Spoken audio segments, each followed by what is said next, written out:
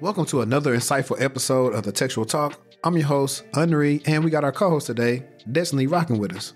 Today, we're diving deep into a topic that weighs heavily on many minds in the job search process. In this episode, we tackle the tough questions and share practical advice on navigating the often daunting journey of job hunting, particularly in the tech and cybersecurity fields. We discuss why finding a new job can take anywhere from three to six months or longer. We'll also explore the critical role of networking, strategic planning, and resume optimization. You'll hear us debunk the myth that applying to countless jobs increases your chance of success, and we emphasize the importance of focusing on relevant positions and tailoring your applications. Henri sheds lights on the benefits of obtaining entry level positions at reputable companies that offer tuition reimbursement, while Destini shares her personal journey of entering cybersecurity through a master's degree program. We'll also address the controversial topic of job training programs, certifications, and whether they are worth your time or money. We'll chat about quality engagement on LinkedIn, building a robust personal brand, and leveraging connections to find referrals to the jobs that you want to apply to. Whether you're just starting out, contemplating a career change, or looking to climb that ladder in your current field, this episode is brimming with valuable insights and tips to help you succeed.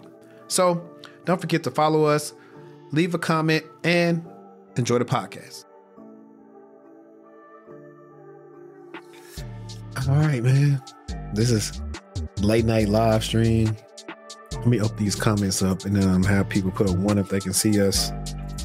Decided to go live today. We've been so busy. I was like, we ain't gonna have a lot of time to pre-record this joint this week. I was like, let's just go live on the nights that we record late and then just see if you know that carves out a little late night tech show for y'all. And and we'll go with it like that. But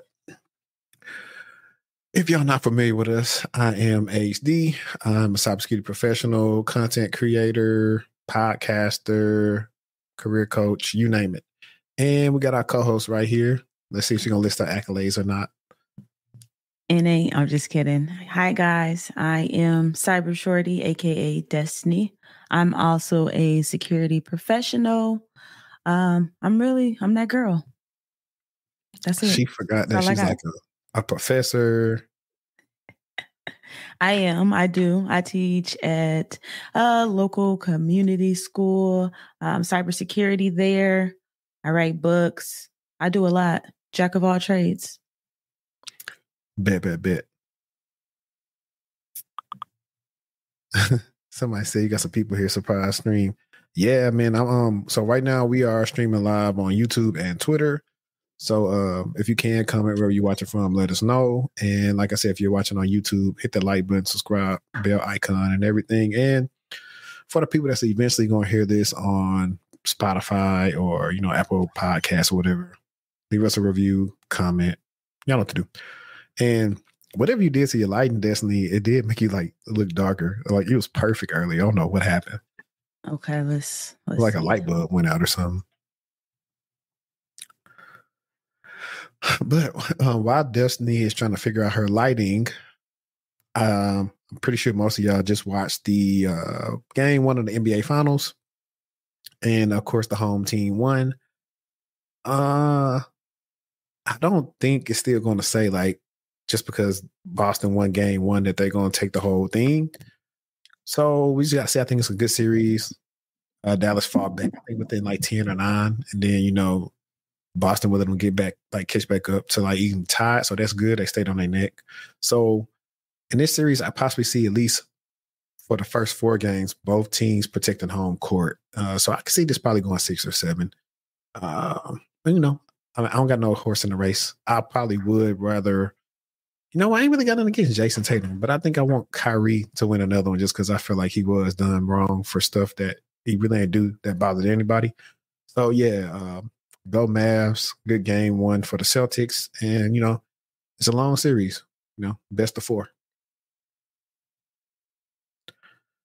So, briefly, it is uh what Friday's Eve. well, some Friday Eve for sure. already Friday for them if they're on the East Coast. And you know, on, on Thursday nights, that's when like our, our good shows drop. So of course you got Shot the Chi and then Power is back today.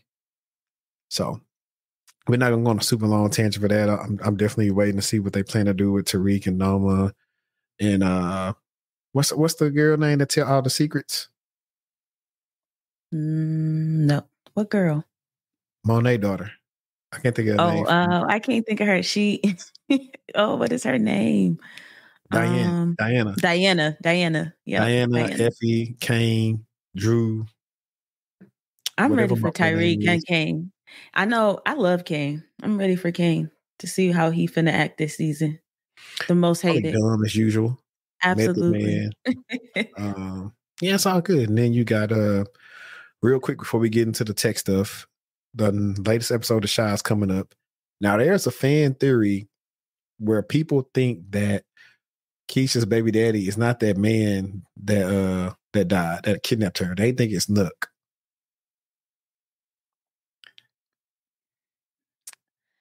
I forgot about that depressing entire season where she was trapped in that house. Like it was just such a tough season to get through. It was, but it's possible that could possibly be Nuk. Cause you know she was texting him when she got abducted. Yep. She was. And you know the baby is fair skinned too. So now that would be that would be a situation for sure. I'm I'm into the shot this season. It's it's been pretty consistent. It, it hasn't been any like, uh, why did they make that episode? yeah, yeah, it's uh, it's been like I said, compared to um, yeah, I guess I'll just show put show the camera in a second, but compared to BMF, it's been like I said, a breath of fresh air. And I had, I meant to send you the screenshot earlier because I was laughing at it. It says uh T telling Spence how him and Meech is spending the Crenshaw after they get back from uh, Mexico. Let me see. see.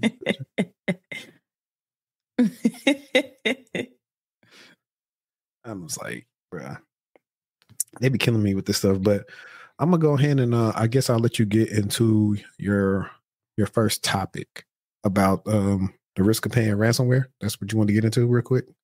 Let's see. Yes. So the title of this article is Panda Buy Pays Ransom to Hacker Only to Get Extorted Again. So Panda Buy is an online platform that acts as an intermediary between customers and various Chinese e-commerce websites. It allows users to purchase products from those websites, which are often cheaper or have unique items that may not be available somewhere else, and they can pretty much get it shipped to their location. So on March 31st, a threat actor using the alias Sanggiero published 3 million rows of data stolen from Panda Buy on breach forums. And so they exposed customer names, phone numbers, email addresses, log on IP addresses, home addresses, and order details. The threat actor claimed that they managed to steal the data by exploiting several critical vulnerabilities in the Panda Buy API. The data was shared with the data breach notification service, Have I Been Pwned, which added 1.35 million email addresses from the incident to its system. So on June 3rd, the same threat actor offered to sell what he claimed was the entire database that he previously stole from Panda Buy for 40,000. It allegedly contained 17 million rows, indicating a much larger data set. Um, but the spokesperson for Panda Buy said that they paid the bad actor a undisclosed amount to stop the data leak, adding that the threat actor may have shared the data with others so they would no longer cooperate with him. Um, so Bleeping Computer reached out to the bad actor about the company's statement, but it's not heard back. For now, it is better to take an abundance of caution and be on the lookout for unsolicited messages from people claiming to be Panda Buy. So, what do I think of that? I think it's funny. I was talking to my brother the other day, and he said he thinks it's funny how someone can pretty much punk you for your stuff and you pay them for it and you still not get your stuff back. And that's exactly what happened in this incident. And that's what happens a lot of the times, which brings up the fact of should you pay ransomware? What is the risk that you take if you don't pay the ransom?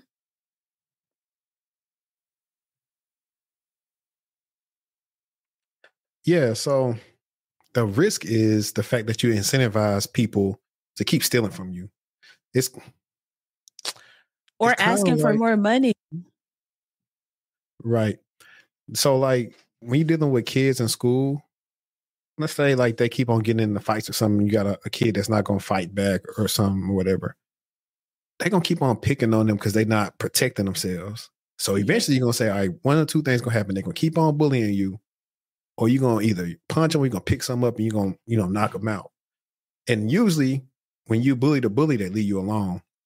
So in this case, you got to protect yourself, your company's data, make sure you got good good backups, figure out how they got in. If you can do away with that, you know, there was um I read an article for a company where they helped one of their clients where they got hit with ransomware. It was a manufacturing company. And so they had backups on hand. They worked uh with makeshift like paper templates for a while. Eventually, I think what three or four months after that, you know, they got them a more secure cloud environment and it was good to go. So sometimes you just gotta bite the bullet because it's like if you keep on like paying them, it's gonna incentivize everybody else to come at you. And like ain't nothing you could really do about it either, except either fortify your systems or uh, keep on trying to like uh share out the money, share out the money. Granted, sometimes it's not on you, it's, it's on those third parties like we've been seeing this whole year so far. For sure. I think it's just insane how you can get punked and someone be like, give me that.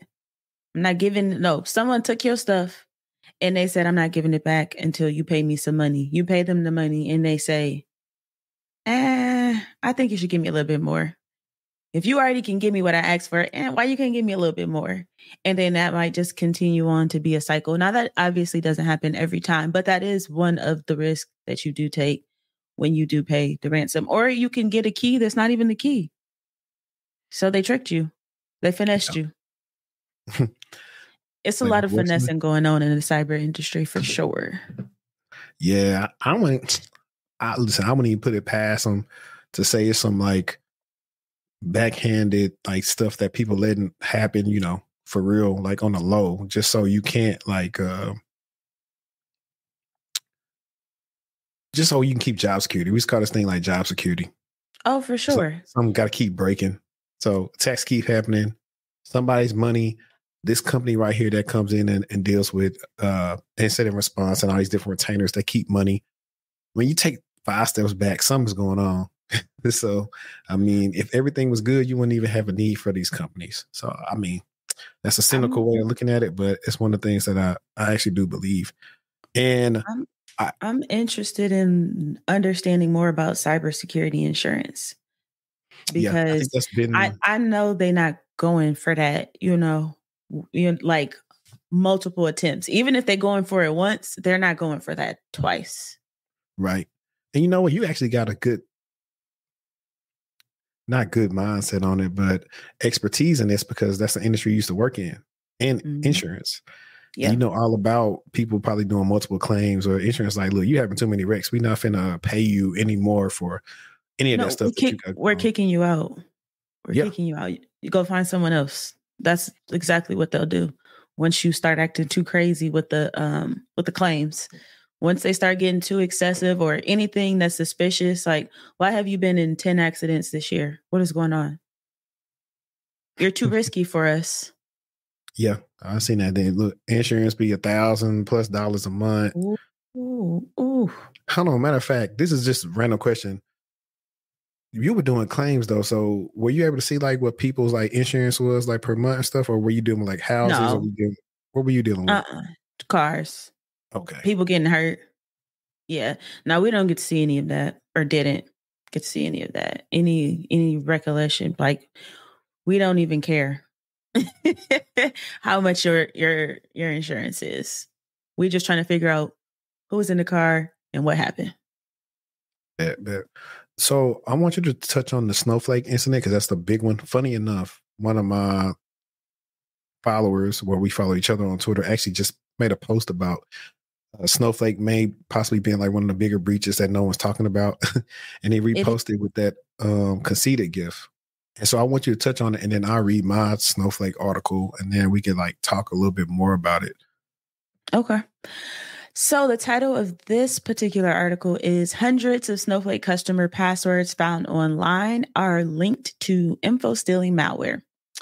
So a Snowflake is a cloud data analysis company, and obviously they're at the center of an alleged data theft. Um, so its corporate customers are scrambling to understand if their stories of cloud data, excuse me, their stores of cloud data have been compromised. Snowflake does help some of the largest global corporations. So if you think about banks, healthcare providers, also tech companies, and they're storing and analyzing a ton of their data, um, such as their data in the cloud.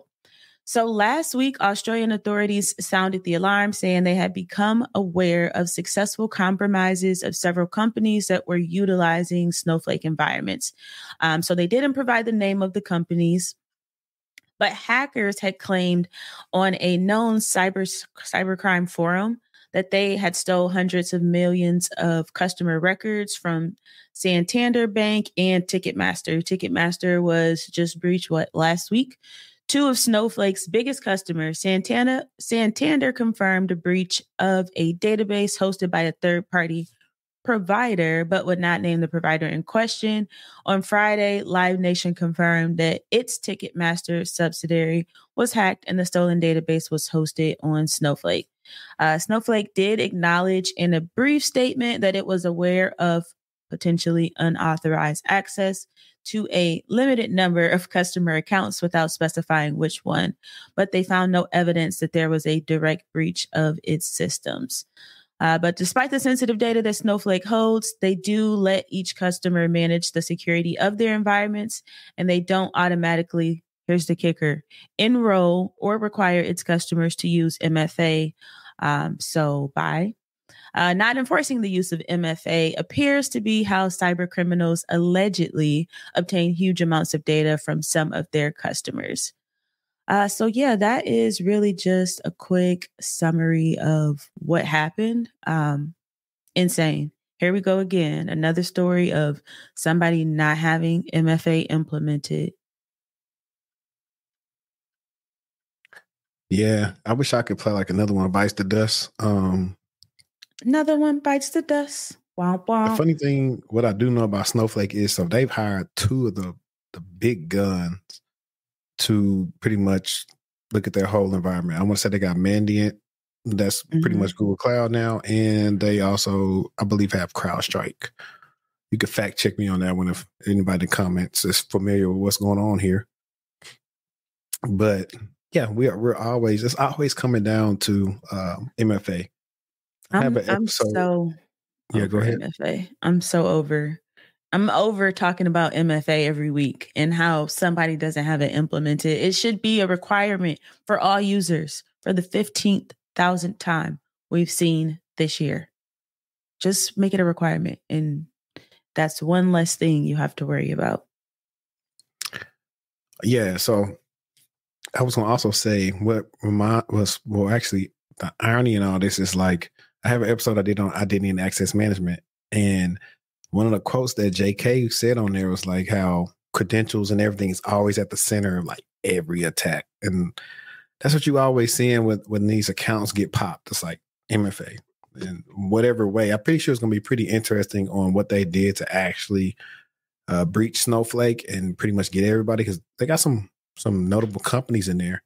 And um, I wanted to read like one of the companies who allegedly data is for sale was Advanced Auto Parts, and I'm actually gonna talk about them in a second. And I was gonna tell you, Destini, I think you had this option to do this too, but you can present um, at the bottom, so you don't have to uh, just read like that. Let me try to zoom in for people so they can see too. So it says that uh, major U.S. automotive aftermarket parts vendor Advanced Auto Parts had three terabytes of data containing sensitive customer and employee details claimed to be stolen by the threat actor dubbed Spider, following the compromise of his Snowflake cloud storage environment, reports Bleeping Computer. So, including in a trove of information being sold for 1.5 million, is 380 million customer profiles, 140 million customer orders, 44 million loyalty gas card numbers, data from man, they got everything. employment uh, candidate details and transactions tender data according to Spider. Other Snowflake customers were also who other Snowflake customers were also alleged by the threat actor to have had their data exfiltrated since the intrusions began mid-April. mid-April. And so then intrusions began then, they probably was in shoot February. But have since paid the demands of their attackers. Such a development comes after both recent breaches of Ticketmaster and Santander Bank, like you just said, were linked to compromised Snowflake accounts, with the cloud storage firm attributing the incidents to the targeting of organizations without MFA. Yep. So that's pretty much what you were saying too. It's crazy. I'm just here to say, you yourself, make sure you got MFA enabled wherever you can have it enabled at. This is insane. It's insane. It cost hackers, bad actors, whatever you want to call them, it cost them so much more to try to compromise your account when you have MFA enabled and enforced. So keep that in mind. And we'll be here probably the next time talking about another MFA story for sure. Yeah, I mean it's it's weird because it's like Snowflake should mandate that, but it's also on the companies like, hey, we need to make sure we have that mandated. But even when you have MFA enabled, they still get popped sometimes because if you have it set up to where it's sending you pushes, if they have the right credentials, they're just gonna keep on putting them in until somebody hit yes. Yep. We we see that all the time. Then not, so basically the user isn't reporting the MFA request is fraud. Right. Because think about it. Sometimes they're doing, I mean, they're not going to do it when you're alert. A lot of these times they're doing, they're trying to log into your account when you're sleeping. Like they're thinking about a time you may be asleep or something. So you roll over and you see, it's like, dang, I don't recognize this. So. I mean, it's not a foolproof. Absolutely not. But, you know, better than to have it than not have it. Right. Right, right. So I think the funner one that uh, we got a lot of people on Twitter here on um, the live stream is we can actually talk about this job search thing. And I think it popped off when um, Bees kind of quoted this. So Mr. Cowboy Gripper says he got laid off June 1st, 2023. He created a spreadsheet to track all the roles he's applied to a year later, he submitted 460 applications. So B says, this is less than 10 applications a week. I recommend people to apply to 10 jobs a day if possible. And this, this, like, let me see something if we got any like interesting quotes right here.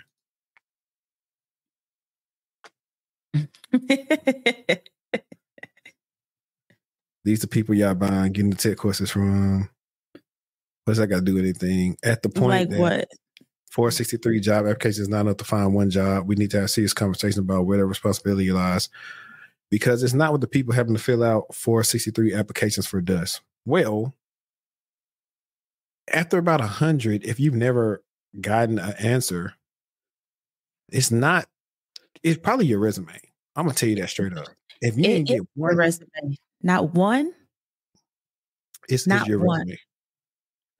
It, yep, yep, yep, yep. You're probably not talking about yourself in the best way. You're not illustrating your skills in the best way. You're not telling the best story about what you actually know and what you're capable of doing. Yeah. Right. Because I know I have a video. I said 100 jobs told me no, but it was actually more than that. But I interviewed for a lot of those roles. It wasn't just like I applied to like 100 plus and, um, you know, only heard back from two. Uh, I heard back from a lot because we're going to talk about this a little bit more in detail, but you can't just apply, spray your, spray and pray your way to everything. Like, you need to be strategic. If you're gonna apply to a lot of jobs, apply to a lot of jobs that fit your skill set, and not just applying to something because you need something. Or if it's one of the BS jobs, you just need to get a job to be on your feet. Eh, Like you got to go work at a gas station, a Target, or, or retail, whatever. Go in there and go holler at the manager. You're gonna have to do something different. If you applying to that many and nobody says something, you need to ask yourself like, what is going on? And good thing is, I do got content on this channel that's about like stuff like that with your resume and, and different things that you need to do to possibly be seen by recruiters. So it's more so on you than them, especially if it's bad. Yeah, and try to be like you said, applying to jobs that are kind of similar, like so that you can use that one resume. Because if you're applying for something that's vastly different, if you're applying to be a pen tester, but you got just only help desk stuff on there, you're not telling the best story. Right. And um, goodbye to the worst website online. he got to be talking about Twitter. We are still pretending that applying for a job involves sending off your CV as opposed to answering multiple essay questions and sending a cover letter to see if you get a telephone interview, to see if you get a technical assessment. That's not all the way true. You have easy apply. You have a lot of AI tools now that'll help you. Like, for example, if you use a tool like Teal, Teal, I know we're trying to work on some. If you're listening right now, come spin the block. Teal, if you have your resume inside of Teal on certain job applications, it'll fill everything out for you. And then if you have a good enough resume, when you upload it, it's going to pretty much parse everything. So you may have yep. to answer 15, 20 questions in total. Some uh, sometimes you just upload the resume and hit submit. So you can do it. You got all you got to do is you could probably spend. My tips is to either apply late at night or early in the morning, maybe take an hour or two and apply. Now, for the jobs you really want to have like success in, you need to tailor some things in your resume, or if you got some highlighted bullet points, like swap them out and apply like that. And that's just the first part. That's just applying. We're not even to get into some of the other stuff that I'll say uh, you need to do. Uh, my boy Jermaine said, folks are coming at the bees for pointing out what works. I get it it's not right or fair that people have to go through this to get a job. But the reality is this it's what works right now. Two things can be true, and bees ain't a villain for being real. I agree. I mean, people think it's it's again, it's just a it's not just a walk in the door. You're not gonna just walk in here and make six figures. Like it don't work like that. You need to put in the time. And half of that is just getting the interview. Yeah. The funny thing is, she said the dude in the main tweets really like kind of thanked her for her advice. So it's like, you know, you can't please that. And since, um, let me see, since we already on this topic, I'm going to go right here. This is not it. Okay. This is not it. Oops. Hang on. Let me open it. I thought that was the tweet. Let me present it real quick, y'all. I just can't. I think it's this I one. Can't. Okay.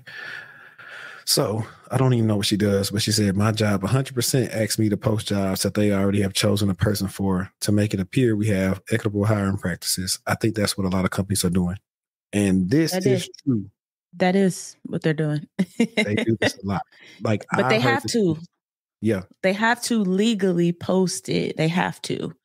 And so I don't think it's illegal for them to know or have an idea of people that they're interested in. They still, at the end of the day, have to interview. They still have to have a good interview. You know, they still have to meet the qualifications, requirements, whatever it is. But that is that's the that's why it's who you know. That's the whole that's why. That's why people say that. It's not what you know, some it's who you know. It's what you know too still, but it's who you know for sure.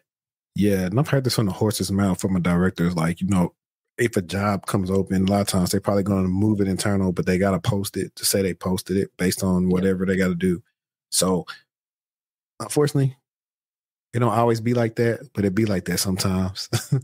but and, the um, post kind of is given like maybe they knew somebody who was beneficial, or you know, if you're in that circumstance and you feel like you know a candidate that is equally as good, and advocate for them. That's simple. I mean, sometimes out of you know, sometimes out of your hands because you know when it comes to getting hired, everybody got to say yes in that loop. So it's like do you waste time on the external person that we know we got to pay more or this internal person that we finna get for a discount that we know can do the job so that's that's pretty much what it is but what i also want to talk about is now so we saw the thing the dude said he's like he applied to like 400, what, 53, 63 jobs, something like that. So somebody said they scamming people on LinkedIn in the comments. hey, sometimes they do. Some sometimes uh they're not real postings. Uh if you really serious about the job, go see if it's open on the actual career site of the company. Uh, if not, Facts. and a lot of times the same job that's on the career site would actually be on the company's like LinkedIn page as well too. And so you can kind of try to verify that way. Hopefully, keyword is hopefully. So I want to share this. I know uh, I only got a couple articles left, Forbes. It's just the article I found. It was like a, a article I saw earlier. And it was like, it typically takes somebody, a job seeker, three to six months to find a new job. I would say a little bit longer than that. Yeah. Yeah. This this market is different. I don't know. And this is the thing too that I do like to say with data, because I said on the last episode, just because that's what the data says, that don't mean it's telling the whole story. We don't know what career fields or what these people are in. So it's not absolute that say that's what it should take. For now, if they encompass everything that's been going on in 2024, they may say three to eight, three to 10 months. I've, I've seen I would say nine to 12. Yeah. Depending on what, you know, and especially the, I think for me, a lot of the people I've been seeing are kind of more so early in career or they are like well into their career, senior level type of roles. So that makes it difficult. Both of those. Yeah, I, I agree. That's the that's actually one of the comments that I had earlier. I was like, for a person who have a lot of experience, they got to play the numbers game and and just exactly. try to yep. try to get in where they fit in. For just if you're gonna go strictly off applying, but there are easier ways. You just gotta build up your network. So this thing says the latest data from the U.S. Bureau of Labor Statistics reveals that job seekers who apply for 21 to 80 jobs have about a 30% chance of receiving a job offer. Paradoxically, it was found that the candidates who applied for more than 81 jobs reduced their prospects with a 20% chance of receiving an offer, according to job search website uh, Zippia, which I can see that if you're not focused like I said, if you're just applying for any and everything, that's what you'll be doing. Just clicking on any easy apply, anything to get another app crossed off the list. Yeah. yeah. And I can tell y'all from experience as being a career coach, when I sat down with my clients and saying, no, okay, what have you applied to? Or we do a consultation. I'm saying, what job, what's the recent jobs you applied to? And I'm looking at your resume versus the job you applied to. I said, one or two things. Uh, you don't have these skills or they're not listed on your resume, but this is why you're not getting called back. So I told him, I said, hey, you're gonna be more successful if you apply to stuff that it looked like you could possibly do. But if you're trying to apply to all this other stuff, but you don't have no projects, you got no skill sets, none of this other stuff, they're not gonna call you back, fam. No matter how yeah. good your resume look. And that's why I'm a person that also really fixates on the contents of your resume versus just having a nice looking resume. It's like going to get a O2 Crown Vic and putting a new uh, paint on the body, but the motor bad. You ain't finna go nowhere but around the block, and then it's gonna stop. And pretty resumes is really out of style unless you finna hand it to somebody in person. It needs to be as simple, basic as possible. Well, no, I'm not even talking about that. Like, for example, you're trying to be a security analyst, but your jobs are, you know, you were a stalker at you know Walmart, and then after yeah. that, you were um, asset protection like for three years. Don't get me wrong, you can get in a certain type of way, but if that's all you got, you got no certifications, you got no projects, no projects, yeah, no CTFs. You, yeah, can, it looks insane. I can make but it seem you don't, like you led. Go ahead. But but you don't know what you don't know. So now that now that you know, you know. There's some you can put something in there. You can go on the website, do a couple courses. You you can illustrate those skills even if you haven't been hired somewhere to do them yet. Yep. And I definitely can make like I can make it look good. I can make sound like you a supervisor and you as a manager and all this other stuff. Now listen, if you do want to finesse them, All right. Just tell them you work cybersecurity at Circuit City or Payless, Kmart. like them places ain't open no more. So if you want to tell them that you did it there, then by all means tell them. Someone in the comments said that they have never um, heard anything back from Easy Apply. So they fill out the whole application. They rather fill out the whole application. Right. Right. So let's get back to the article. It says, therefore, applying for too many jobs can be self defeating because although it appears that you're exposing yourself to more opportunities, it actually may diminish your chances of being hired. If you apply to hundreds of jobs, especially within a short space of time, such as two or three months, there's a high probability that you have merely skimmed through applications, click easy apply button, and not be able to give each one intensive quality tailored effort. Keep your gaze fixed on a number of applications as though it were the numbers game is misleading because the more you apply for, the more you reduce the quality and energy you put into your applications. And unless you're able to sell yourself to employees, which is what we talked about. And I think this is kind of this this title may sum up how Buddy was feeling. Destroys your mental health. Applying for roles in a panic apply mode ruins your mental health due to the sheer number of low quality applications you're sending.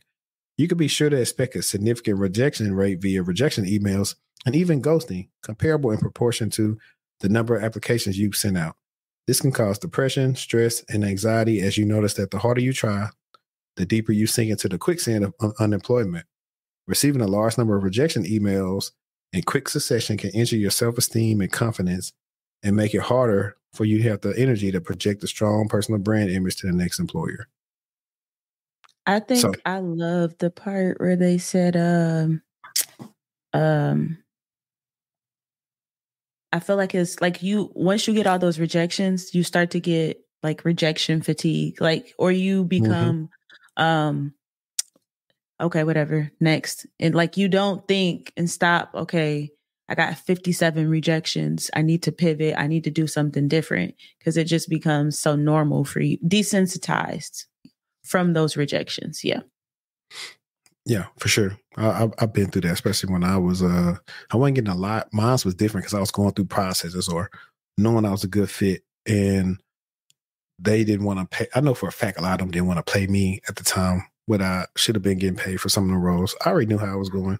They never mm-hmm. would never say it, or like I said, if we want to be, you know, more nuanced uh, as being black people, sometimes you get into like back in the day I'm talking about suited and booted, going into the interview with a panel of none more white people, just like I feel like I am just here to be their diversity interview person. Or their personality hire. Because the people would be laughing at the jokes, you'd be answering stuff good, and then all of a sudden, in two weeks, yeah, they decide to go with somebody with more experience. I'm like, you knew my experience before I got the role, and this role don't require for that much experience. So, what you talking about? Yep just say you found somebody that's a better fit. Don't give me. I just do not like that experience piece because that's some bull. Because if you decide to interview me, don't tell me that. Because you can know from no recruiting call you don't want me. Exactly. Or my resume. Now, guys, this is what we alluded to earlier about networking. And let's see what they got to say. According to Zip, uh, Zippia, 80% of hires come through networking, not scouring through job boards. Recent estimates also show that 70% of jobs are not posted on widely used job sites, which is a fact. I have this in my ebook. While Deloitte, while Deloitte reveals that individuals will need to find others who can help them get better faster, small work groups, organizations, and broader and more diverse social networks. Therefore, it makes more sense to focus on building the quality of your applications and network instead of the mere quantity of applications. So they nailed it on the head. Let's see if they got anything else that I kind of haven't told anybody already. Um, I guess we can go ahead and go through the whole article for people. Build your personal brand on LinkedIn. Focus on completing your LinkedIn profile and establishing yourself as a sought after candidate on LinkedIn. Make your profile tell and show your career story and contribute meaningless insight. Hey, they stole this from my ebook. Relevant to your expertise and desired role. Engage meaningfully with others, post and add significant value through your presence on the platform. And I'll actually add some more onto that. when you start branding yourself, like I say, as a sought after candidate, even if you're a person with no experience, like for example, the things that Destini and I were talking about earlier before we got to this subject. If you're young, trying to get into cybersecurity, one of the questions they always ask is, "Hey, how do you keep up with cybersecurity news?"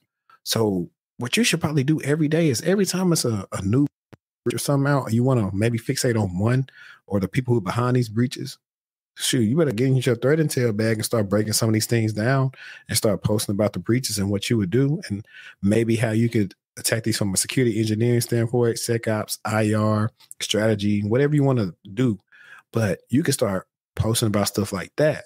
And what eventually happen is, and while you're building up your LinkedIn, people start noticing that you have a knack for doing that. And whether it's the best, like breakdown people have seen, the fact that you're doing it, one day I, uh, job you're going to apply to, you're going to see that hiring manager views your page and he's probably going to ask you about these things in your interview. Or when it comes to maybe wanting to get a referral from somebody and they say, Yeah, I'll refer you. I've been really, you know, sitting back and seeing all the stuff that you've been writing about. So I, you know, we'd love to have somebody like you on the team. That's a way to actually get referrals. I already kind of show that you got value. But if you if I go to your page and I ain't, I'm not already following you, and the first thing you do when you connect with me is saying, "Hey, are you hiring?" or "Can you refer me?" or all this other stuff, it's not gonna work that good. You got to actually build it up. Like nobody just build a bridge in one day. It's, it take baby steps. So you got to lay the foundation and then build that bridge to probably getting that referral. But once it's built, you should be good and, and make sure that network is always warm and make sure it's not just a one way transaction. Like when recruiters reach out to me for a job or other people, if I'm asking them for something, I'm always saying, hey, if I can never do anything for you, please let me know. Or if it's a job, a recruiter reach out to me that I really don't, I'm not feeling, or maybe not money not right. I'm like, okay, you know, this not a good fit for me, but I do know if some qualified applicants, I'm going to send them your way. That's how I start building that bridge to where they think about me and say, hey, yeah, this was your range. You know, we had this open up. You know, let's let's get on the call if you can. But you got anything to add to that, Des? Um, I think it's important to also um, be consistent. Like a, a lot of the times, you you're looking for immediate interactions, gratifications, you know, comments, but be consistent with your post and eventually you'll be able to pick up that engagement piece. Um, so don't be afraid if no one likes it. It's okay. On and move onward and forward to the next one. This is not Instagram. Mm-hmm. And so this is kind of already touching on what I said, quality connections. So people that will be on the teams you want to work with, people that are industry leaders, even good content creators that, you know, you can see their work history and the things they talk about. If they got a big following, if they post a lot, that's where you're going to start like making your bones. And listen, I'm to tell you something that they're not going to say. Be controversial. Be as controversial as you can on LinkedIn. That's you know, want like respect, but be controversial. Hot takes. Get people to come check out your posts. Say something outlandish. People every listen, every time we make a video about the security plus, it get views. Know why?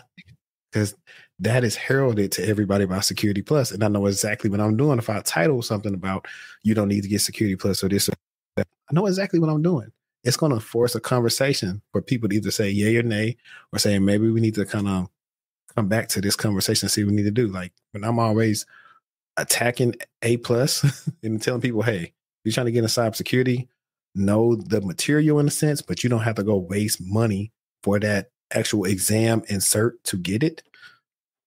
Because most of the jobs you look for when you're trying to get into cybersecurity will not have need an A plus on it. For sure. You're gonna say, especially yeah, in cyber. Skip it. Like you're gonna rarely be touching hardware unless you're gonna be at one of those companies where you're like the jack of all trades IT person. Yep. That's so. Let me see. Now, I'm gonna see if I agree with this or not. Take time to focus on meticulously, meticulously tailoring every detail of your application from the research you do into each company to the keywords you insert throughout your resume. To the examples you provide to support your application, you may only be able to apply for one or two roles a week, but this is more beneficial and laser focused than applying to several hundred within the same period. Ultimately, Applying for hundreds of jobs has proven to be ineffective and is wasting your precious time. The golden range of 21 to 80, as cited in Zippia study, is not about numbers, it's about quality over numbers. Invest your energy and effort into improving your two important assets, your network and your portfolio of application documents. Remember, the success of your search isn't dependent on volume. Less is more. I actually agree. I, I agree on that. I don't agree that you got to tailor it for everything because some of your resumes may fit just that role that you're applying to. So I would not necessarily necessarily say that you would have to tailor it for everything. But for the most part, I, I do agree with the keywords and speaking to what's on the job description, especially like I said, if it's roles you're really interested in, do it. But see, what they didn't put in there that I tell you to do is, and I show you this with the group coaching or the one-on-one coaching, we go even past that. We go through, okay, we we headhunting, we trying to find a hiring manager, somebody on the team, a recruiter. And there, there are tricks that I've learned through doing this that I can show you how to find these people that they, you know I'm saying they're not just saying, Hey, I work for so and so. It's little tricks. You can find them in the job description. And like I said, if you do want to know about that kind of stuff, like getting a group coaching, get a tech resume or something like that, you get access for a year. But those are things that I show you that I've done that you can do that'll at least lead to you getting a response or you know an interview eventually. I'm just saying.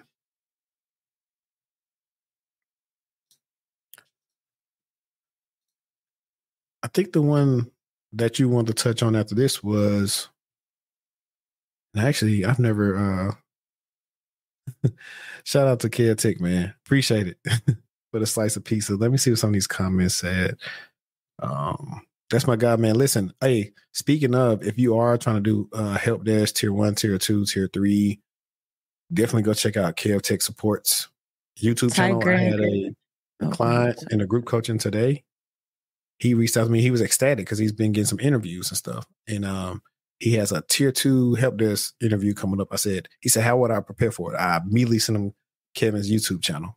He has pretty much all them questions they're gonna ask you He's broken them down. He got walkthroughs, he got labs, he got everything you would need on his YouTube channel. So you definitely should check that out. You had something to add this? Um, I was just saying Ty Grant said when I was searching, I made three different versions of my resume go. to match the role that I wanted. And yeah, that's very smart. Depending on how wide your skill set is, you may need to make more than that. But that is very wise to do. Yeah, I agree. You got three. Like I got one that's a base, and then like for certain ones, I would do my first last name underscore the role, well, whatever role it was or the company, and I would probably change certain things about it. Um, also, guys, free game. You sometimes what I've seen in certain companies, you, the title of your job at your company is not a popular role amongst the industry. Like I had a, a guy, we got a console, we we talked before, but he is like a security admin and I was like, I would figure out what entails your role and, and map it to a more important term that's like more widely known versus saying a security admin. Cause I'm like, okay, what is a security admin? I was so just going to say it's broad. Yeah. yeah. So yeah. you want to get specific and popular with your titles as possible. And, and that'll help you get a little bit more callbacks. And also, if you live close to a bigger city, put the bigger city on there instead of your smaller city too. That that'll help you out as well, especially if it's you know commuting distance. Because sometimes they was like, oh, this person don't stay in you know Dallas, they stay in Prosper. I'm like, put Dallas on there. It's the DFW. so yeah, that's the key because those HR people go crazy with the controversy.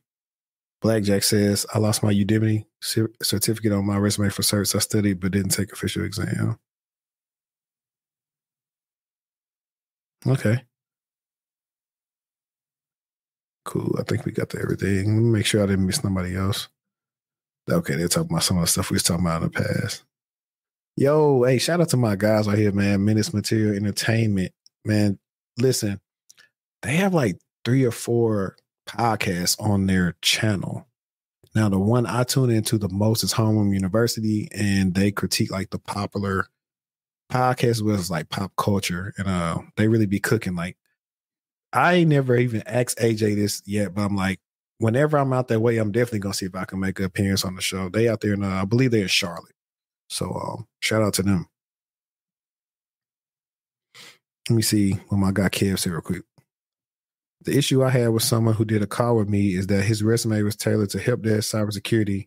It's like very misleading. Do you want to work help desk or security? Keep it simple. That that's it. Listen. Yeah.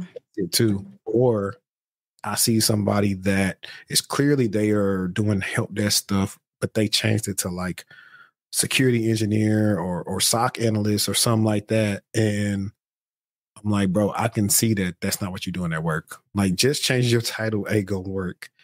is not. You'd be better off finding somebody resume and putting their bullet points on there and, and hopefully being able to explain them in a in an interview versus what you're doing. Yep. But what I often find out doing all these consults is they are doing a lot of things that are cyber related that they're not aware of. Like I'm telling you, a lot of help desk people do a lot of identity access management, and they are like, "I am," and they don't know about it. I'm like, "Well, why would your boss and tell you you're doing identity access management?" Because if they did tell you that, they don't have to pay you more. But because your job says help desk, service desk, desktop support, customer service, whatever it is, they know they don't have to pay you what you deserve to be paid. So that's why you got to always, you know, trying to make sure you're not getting finessed. But let's let's cover that the TikTok stuff. I think that was pretty interesting. Um, I need, I want to see if I can find the part where they like kind of pass the vulnerability.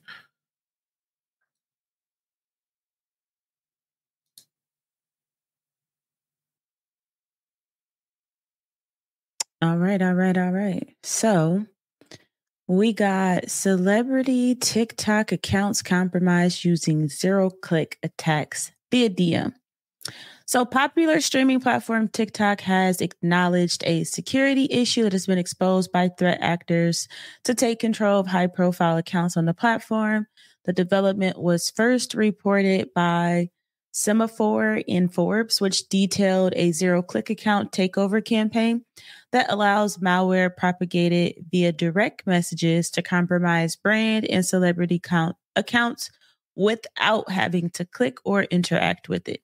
So the exploit has been found to take advantage of a zero-day vulnerability in the in the messaging component that allows malicious code to be executed as soon as the message is open. It's currently unclear how many users have been affected, although a TikTok spokesperson said that the company had taken preventative measures to stop the attack and stop it from happening again in the future. Um, the company further said that it's working directly with impacted account holders to restore access and that the attack only managed to compromise a very small number of users. It did not provide any specifics about the nature of the attack or the mitigation techniques it employed. And yeah, um, that these social media attacks are becoming more and more um, they're becoming more and more prevalent. Bad actors are becoming smarter. Just simply opening up a message, not even clicking on anything, and the message is, is crazy. Very crazy.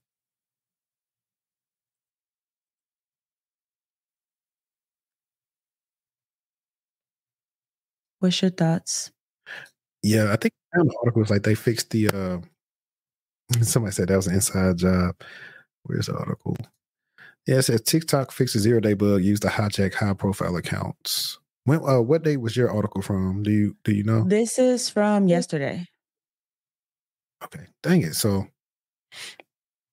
I guess I can probably figure out what they. Let me see something real quick. I'm just really trying to see what the fix was.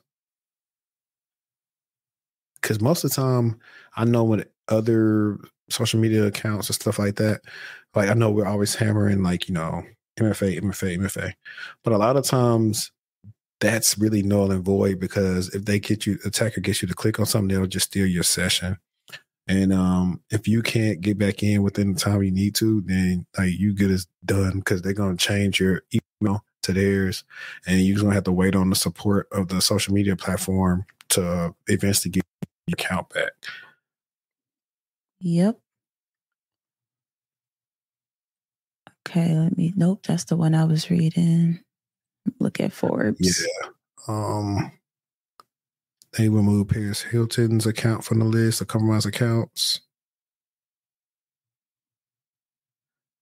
Yeah, it ain't really it ain't really saying too much about uh, whatever it was. So I, I, I, the second article I read said that they declined to share more details about the nature of the attack or its countermeasures as to not tip off potential malicious actors. Bet. Um, so earlier we was talking about y'all, this y'all ain't gonna believe this, but like so the LA school district is investigating a data theft claim and apparently they got access to like a lot of data and the kicker is guess how much they're trying to sell it for four million way less let's see. Let me zoom in so make sure people can can see it on my end. So the LAUSD officials are investigating the threat actors claim that they're selling stolen databases containing records belonging to millions of students and thousands of teachers. LAUSD is the second largest public school district in the United States with over 25,900 teachers, roughly 48,700 other employees, and more than 563,000 students enrolled during the 2023 2024 school year. The threat actor selling the allegedly stolen data for a thousand dollars, bro. That's how you know it's a kid. What? That's a kid. Come on, bro. A thousand dollars. I'm Trying to get a, a PS5 and um, the new NCAA. No, that's a script kiddie. No, no grown adult person is doing all that work for a thousand. That reminded me like the people when they kept coming to steal from Target. They what they'll do is some companies will just let you keep stealing to where you steal uh, so much that the amount is a felony, so they can send you to prison. Versus you just getting off with like you know a simple charge. So, because attackers always come back to the scene of crime, they always do. It's just psychology. That's why psychology majors actually do well pretty good when they come into cybersecurity because they already know understand human action. So they says the thousand dollars says the CSV files put up for sale on the hacking forum contain over 11 gigabytes of data, including over 26 million school records with student information, more than 24,000 teacher records, and around 500 containing staff information. They also shared two data samples containing roughly 1,000 student records with social security numbers, addresses, parent addresses, email addresses. Like, look, like I say every day, everybody just need Aura because at least if this stuff was on the dark web, you'd already know before the school district let you know. Just saying. I'm just saying. Researchers who analyzed these samples told Bleeping Computer that the sold data appears legitimate but could be old, as the data set does not include recent dates. However, the threat actor only shared a small sample of the allegedly stolen data, so there may be new information that's yet to be shared. Bleeping Computer contacted LAUSD earlier today to confirm the threat actor's claims and was told that the public school district is now investigating them. We are looking into this and we'll get back to you if we have further information to share. LAUSD Public Information Officer Britt Vaughn told Bleeping Computer. I'm just hmm.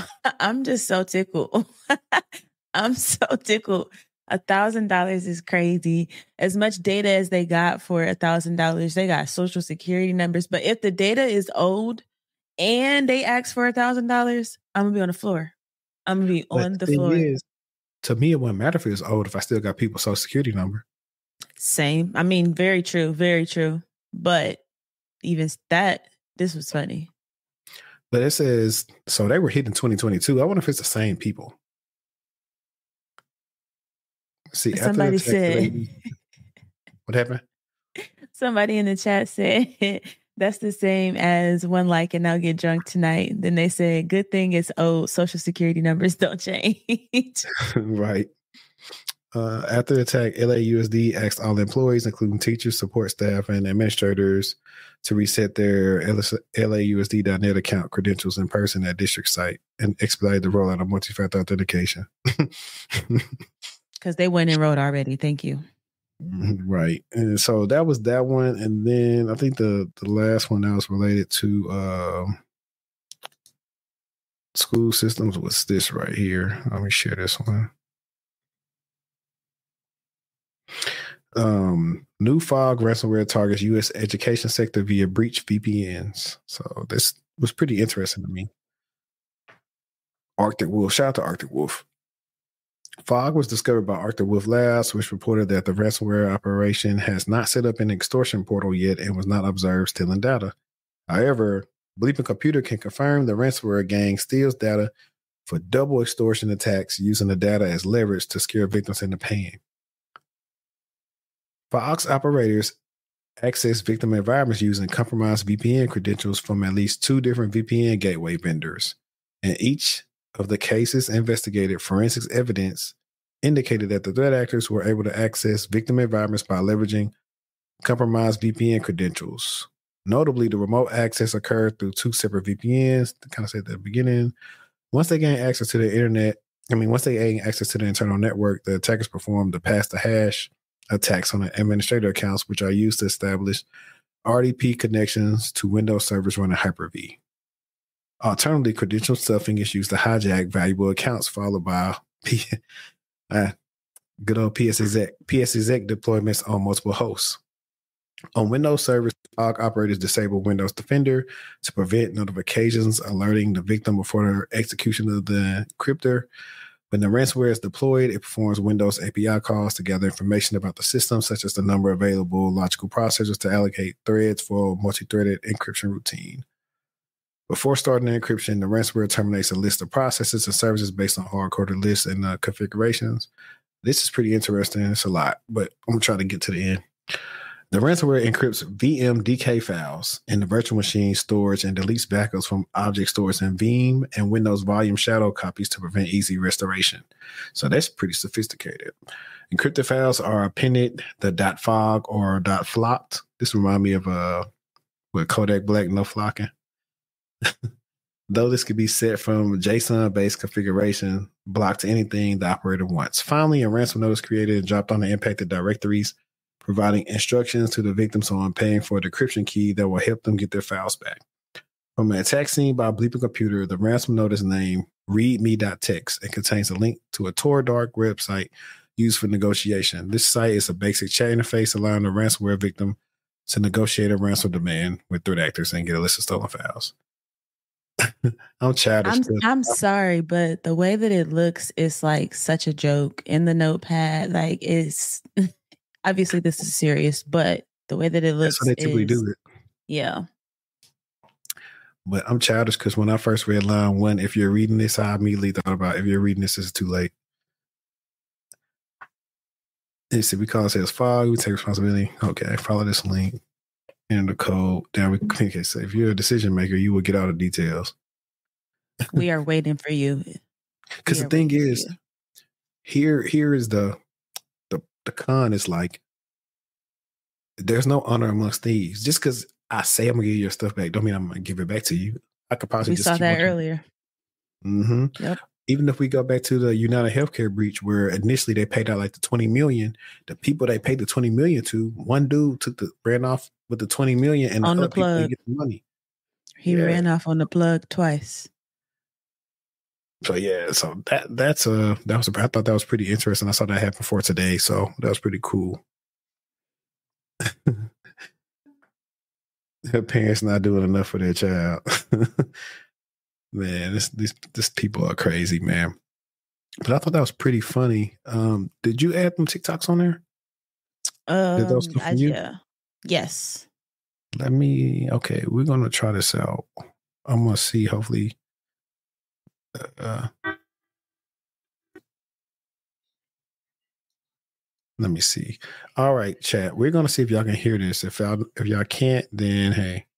But I'm gonna share the screen. Where is it?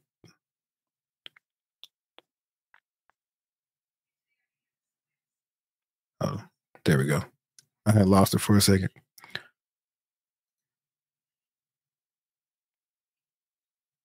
All right. Oh man, this is funny. Look what you shared. The name tells me everything I need to know. But all right, I'm gonna hit play. Y'all let me know if y'all can hear this in the chat.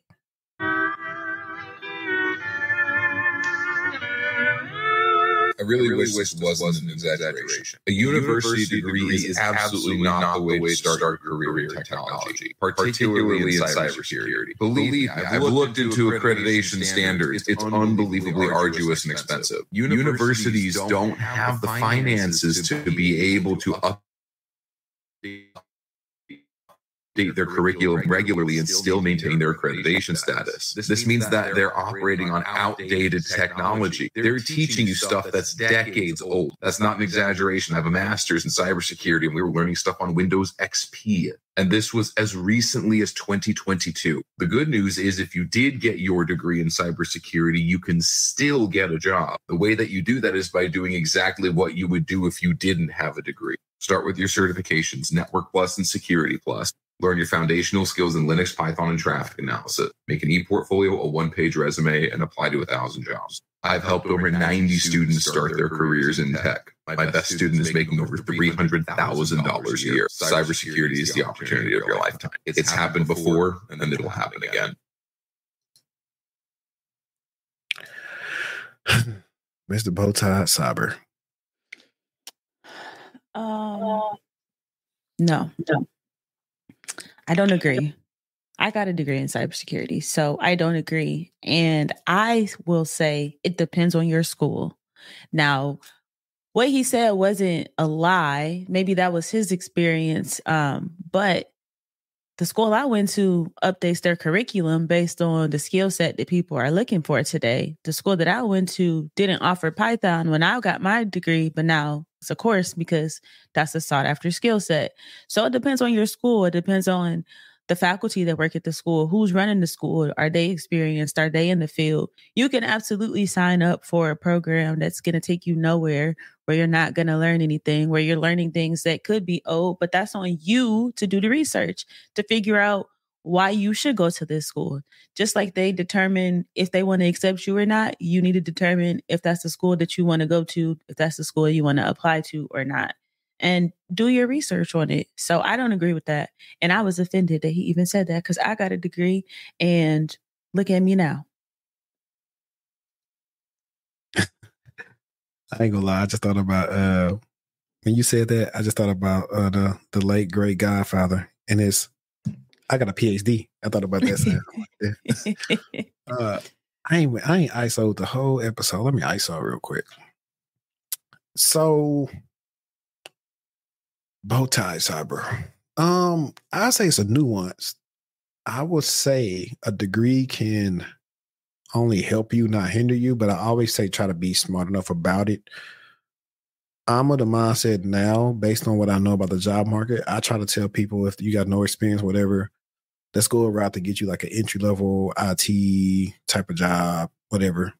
Get to a decent company, that may have some benefits where they can do some tuition reimbursement or at least you're getting paid more than you used to and try to pay as least as possible for that degree because that's the one thing that's like the biggest thing it's like now like even me like i had a plan like i was at a company where they were supposed to do my reimbursement but then i got laid off so at that point like i already knew the cost was going to fall on me for that master's but i can say that um having my degrees has helped in my career because it, when there's been times to negotiate, they'll look at my experience, sometimes certifications that look, most of them not current, but then my education, and then they'll compare me to the peers in the role, and it's like, okay, yeah, we can do that on top of interviewing well. So it can help you in the long run, and then if you want to be in like some type of leadership position, if you have some type of higher education, that can help you as well most of the time, most managers or directors have some type of bachelor's, master's, some got PhDs. So you can see that. But his alternative, in theory, works, but it has to be worked more strategically. I've debunked so many times of him telling people in 90 days, go get a Splunk core user, um, and what he said, Network Plus, Security Plus, and AZ900 and build a portfolio and apply to a thousand jobs. So we just saw that how that don't work was, and I like how he everybody does this too. His best student is making three hundred thousand dollars, which he's not saying nine times out of ten they're possibly overemployed, which is fine, but don't seem like that person went with no experience and all of a sudden it's getting paid three hundred thousand dollars. That's very disingenuous and misleading because everybody don't have time to get no four or five certs in 90 days. That take a lot of studying. Not only that, if you're getting them that fast, you're not retaining anything. So there are people like the exceptions of the rule do not make the rule. I'll just tell you at that. Like you there are different ways you can get in. Matter of fact, I've been seeing apprenticeships being a little bit more popular nowadays too. So I would just say it's nuance. I would say do what works best for you. I ain't gonna tell you not to get some or get something because at the end of the day, you're gonna have to have something to help you stand out. And something that I didn't bring up earlier when we were talking about applying to jobs on LinkedIn. If you use LinkedIn, you know when you go to that company and you're looking for people to reach out to, if you got if you graduated went to a certain school, it'll say, "Hey, these people went to your alma mater," and those are people that may refer you to just because y'all went to the same college. Just saying. So all in all, do what works for you, but don't necessarily don't necessarily like just not say do something just because you don't agree with it. It's many different ways to skin a cat. So yeah. that was that was and my I, take. I would say for me too, I joined the field with no experience. So for me, I personally feel like I couldn't have learned all the information that I learned in two years by myself. I don't I don't think that would have happened. But someone in the comments said, Do you think it would be beneficial to go back and yes, and get a master's in cyber after being in a role? Yes, I do. I wish that I know it sounds crazy, but I wish that I could go back now because things would make so much more sense to me. And I feel like I would gain more value from the program than I did initially because initially everything was just being thrown at me and not necessarily making the most sense because I had no experience. Um, so I I would say yes in that circumstance. But like you said, school isn't for everybody. That's not the only way. That was just the way that worked for me. Yeah, and then to piggyback off you, because me and her have pretty much the same alma mater. I just finished like I don't know how many years I finished before you. December 2018, I was finished, but I didn't get my master's. So I was thinking like this. I didn't get my master's in cyber. I was already in cyber at the time. So I said, I'm going to get a master in a, a master's in a broader discipline because it'll make me be more versatile in the chance that I need to do something different from cybersecurity. So my master's is isn't actually in technology management, and a lot of the courses were not hard to me. They actually made a lot of sense because of stuff that I had seen at work. We did enterprise architecture. What else did we do? We did something that that that uh, what you call it was pretty cool. But we worked on different things. Like now, like I've had to come up with like statement of works before of like if I want to do some consulting on the side and projects and, and deep dives, so breaking things down and using data and all these different things. Uh, what we did like business analytics, whatever the class was, but it was a lot of stuff that made sense that I've had to do at work when I've been tasked with projects in various roles. And that's why I'm always so high on I've said a lot of times I wish like bachelors were like masters in the sense that the syllabus, like curriculum, makes more sense than giving you a lot of like all these different courses to take, but they don't translate over to your professional life. That's what I've been kind of wanting to get out of like bachelor degrees for a while. So there probably are some programs out there like that, but that's not most. And that's why some people go to college sometimes feel like they didn't learn anything because it's not specific enough to help them gear towards one area. And that's one of the issues people deal with when it comes to college. And that's why they struggle in interviews. And that's why they can't speak the things that they did because they feel like they learned too many di- different things. And sometimes at the school, matter of fact, most of the time, they didn't even make them a good enough resume to help them out with that. Not just had a consult with a young lady not too long ago about she still was in college or her master's, and I was saying, uh, did they not, you know, help you with your resume and all this other stuff? And she was like, no, they didn't. It was like pulling teeth. I was like, that's crazy. I said, the career center, that's what they're supposed to do. That's what they get paid for. So that's a that's an even deeper topic to to even go into when it comes to people really like feeling kind of like let down about like spending this money on this bachelor's. And so that's why I'm like, be as efficient as possible. Yes, you know, certain names matter on that degree, but hey, if you don't come for money, don't like go into debt just on a, a whim of, oh, I went to, you know, this big school. I'm gonna be, you know, doing this. Like, no, you gotta have a plan and be very strategic on like what you plan to do after college.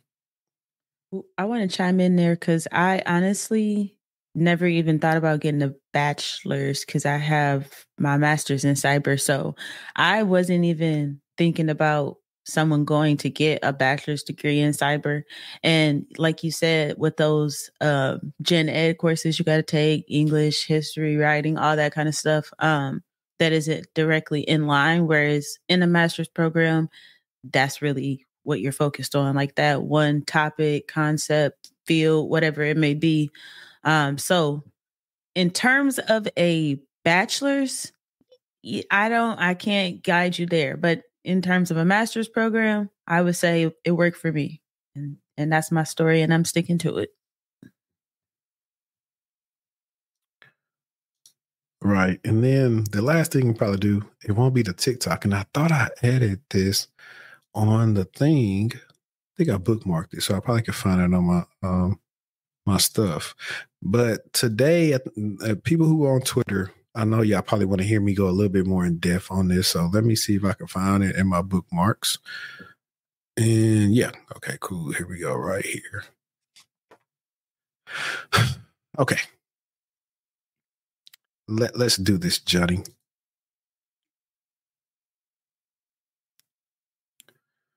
All right. Let's present. because funny enough, Kevin actually tagged me in this new post right here. So this guy, Mr. Tyrone, I know Erykah Badu. Um, he said, uh, anybody interested in a career in cybersecurity? One even today, it was actually two days ago, three days ago. I have a connection and she's looking for people to train and get into her boot camp.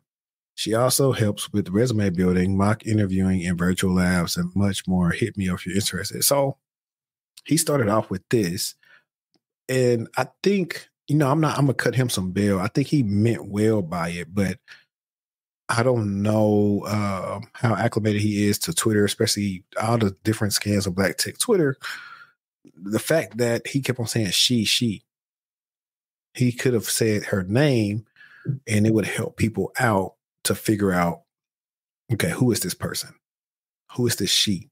Because we never heard of them like it just sounds like another money grab for me. Especially there's been so many people burned by this boot camp word right here that people are always on, you know, like pretty much they're kind of always like, oh no, it's another boot camp, guys, another, you know, another scam.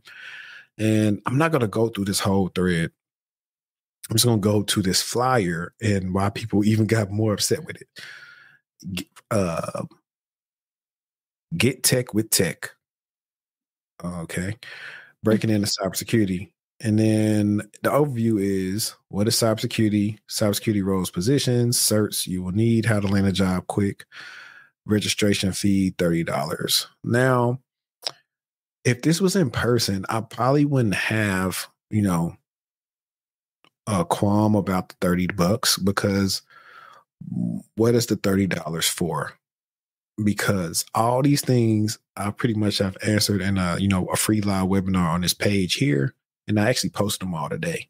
And so I was actually being funny. I posted my stuff and saying, "Hey, if you don't want to worry about who's that Pokemon, then check this one out." And I may pull that up if I can go find it.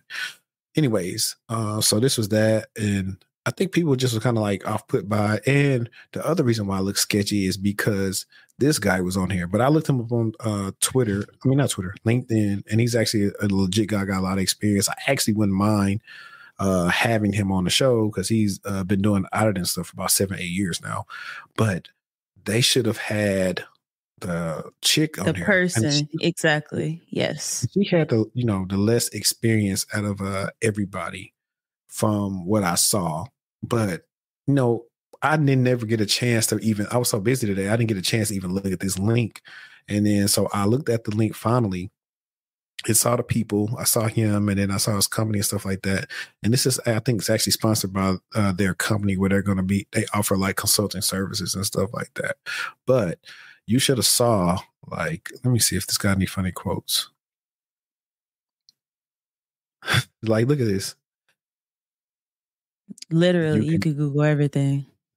So yeah, th- and that's the thing too when it comes to like cybersecurity. It's so many different roles you can do, and I think people just tired of being burned. Like, so the the, the woman and the people behind this, they should actually come on Twitter or do a live stream and kind of like introduce themselves to Twitter and talk more because to the Twitter they just seem like random people. And the way he said, "Oh, they're trying to train people and put them in a boot camp," we've seen this play too many times, and so you're not going to be able to get that one off because when he said she, and then you go to the thing, you said this person, people are like, "What's going on here?" Are these people going to just run off of my registration fee? So that's yeah, what a lot of people felt like it was given. See? I just I don't the flyer is the flyer is horrible. First of all, let's you start so? there. Yeah. Get tech with tech. What does that mean? Breaking into cybersecurity is one word. Now you know what? You're right. The spacing is off. It is it's given don't pay the thirty dollars. The spacing is off. Let me try to find my tweet because I want to laugh at myself. I think I'm so funny sometimes. oh, here it is, right here. I found it right here. Uh, let me let me share it with y'all.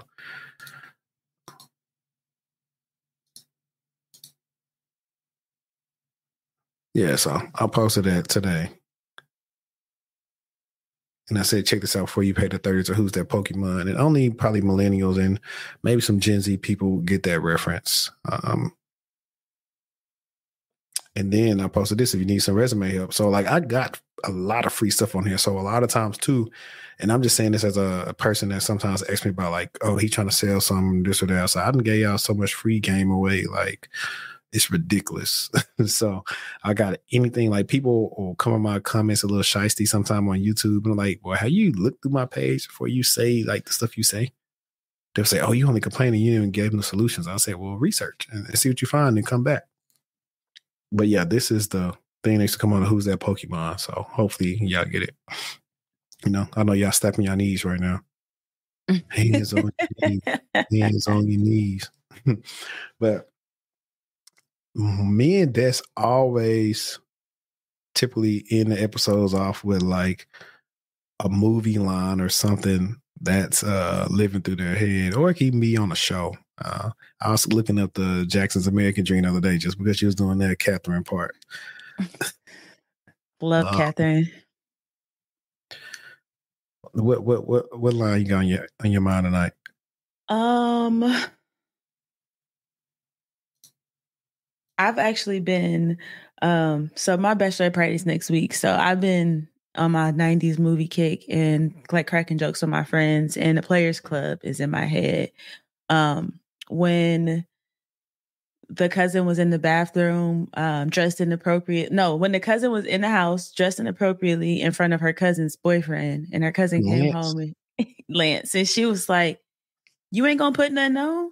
And then Ebony was like, for who? Lance? He ain't nobody. And then lo and behold, she ended up in that bathroom on the floor, scrunched in the corner, scared because she knew Diamond was gonna bust her head open for messing with Lance. So she was walking around the house in her undergarments when she shouldn't have been because it was inappropriate. And she pretty much tried to act like it wasn't a big deal. But lo and behold, she was actually messing with her cousin man on the slick on the sly. So yeah, if you ain't seen the movie. They probably seen it then it made me think about uh that movie's stupid because uh is it, it's so stupid. The the actor that played Ezal when he said uh anybody ever told you that wasn't him or was it? That was no, him. that was Ezal. That was him. That was him. When he said anybody tell you like the father from Good Times. and he put that uh so he put like a donut or something in his pocket or oh no that movie's stupid. Uh I think I've been thinking about like stupid stuff from like uh rush hour like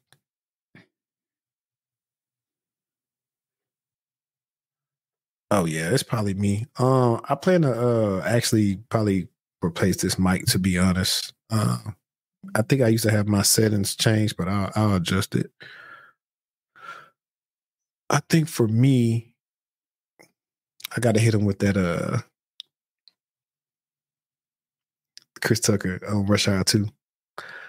Uh, if y'all not familiar, him and Jackie, they they get tied up by the triads. And then he he's acting he's asking Jackie like what's gonna happen while in the back of the 18 wheeler thing. And he's like, Oh well, they will do this and they will cut off your egg rolls. Cut out my egg rolls, like all that stupid stuff. And then uh so they the, the, the thing stopped. And so they finally while they in the truck, like Lee is biting the um the rope and talking about use them tiger teeth. so when the man opened up the back door, he come in there, he looking.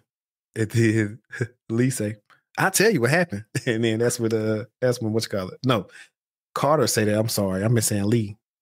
Carter says that, and then Lee is uh Lee takes out the uh the dude.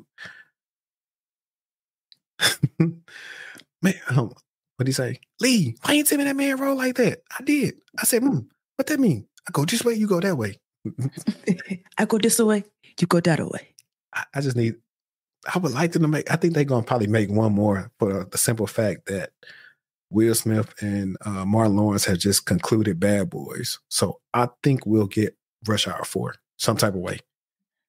I'm going to see uh, Bad Boys this weekend. So yeah. I don't know when I'm gonna see it, but I plan on seeing it too because I enjoyed number three. I know a lot of people don't like number three, but I was happy. I was happy to see it. I, I was happy to see it too. I thought it was a good a good way to do number three after so many years. Yeah. Um, you got any last words for the audience today? Hmm. I don't got nothing too fancy today. Everybody have a good weekend and don't get nothing on you. And make sure you tune in to the next episode. Like, subscribe, follow us on social media, and make sure you subscribe to the Patreon. That's all I got. And I was gonna hit him with that uh the last part from uh Richard when he left out uh when he left out with uh what's my boy name Don Cheadle. He said I shoot you and say you uh slipped in the kitchen. but uh when he left, he said um um we um Gonski. All right, man. I appreciate everybody for tuning in, man. Uh, this will be on Apple Music and I mean Apple Podcasts or Spotify sometime this weekend. So if you want to listen to it while you're going to work or something. But yeah, man, y'all know what to do. Run up these views and share it out. We out.